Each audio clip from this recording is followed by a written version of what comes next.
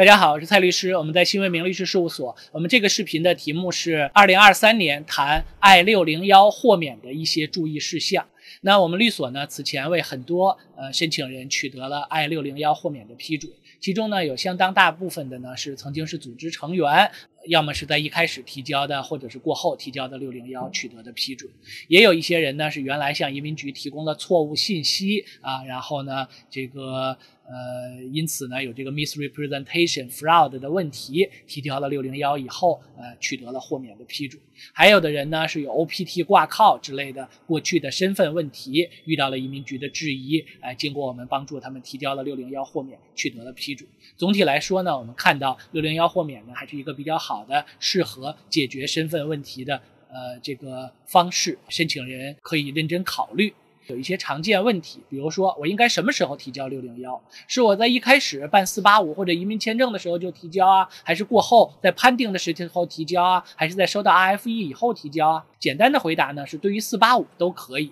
我们有不同的这个客户他的策略选择，有的人本来就觉得这个背景比较复杂，比较担心，所以他在提交四八五的时候，同时就交了六零幺的申请。也有的人呢，比如先提交了 statement 的说明情况，但是呢，因为准备不够好，或者在面谈的时候交流的时候有问题，所以呢，他又收到了来自移民局的 RFE NOID，呃，或者在 interview 以前，或者在 interview 以后，那么在回复的时候，啊，他就考虑到，呃，提交六零幺豁免可以更好的取得批准。也有个别的人呢，是申请被拒了以后才找到我们，让我们呃向他们建议，啊，他可以提交六零幺豁免来解决这个问题。以上是对于四八五的，对于移民签证呢，根据美国移民法的规定，哎，只有在移民签证被拒以后，你才能够提交六零幺豁免，这个是六零幺豁免的时机问题。那么接下来是资格问题，什么样的人能提交六零幺豁免呢？一般来说，如果你有直系亲属，比如说配偶、父母或者子女是美国公民或者有绿卡，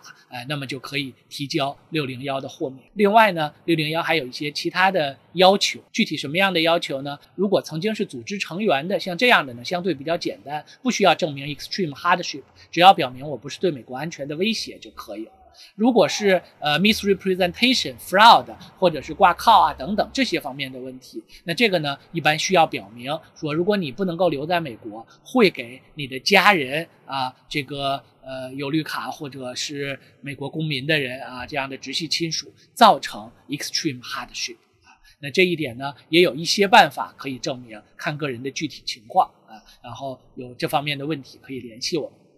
那么，呃，这里讲到的是六零幺的基本的条件啊，那这些呢是。呃，必要条件。除此以外呢，还有一些 discretionary factor 啊，就是 favorable and unfavorable factor。尤其是这个怎么什么样的条件可以有利于六零幺批准？比如说，我已经在美国生活了很多年啊，我是社会的良好成员，我是纳税人。然后呢，呃，我有在美国的专业工作，有在美国取得的学历。还有呢，如果说我有不止一个亲人在美国，或者说我提供了合理的解释等等啊，这些呢都对六零幺批准有帮助。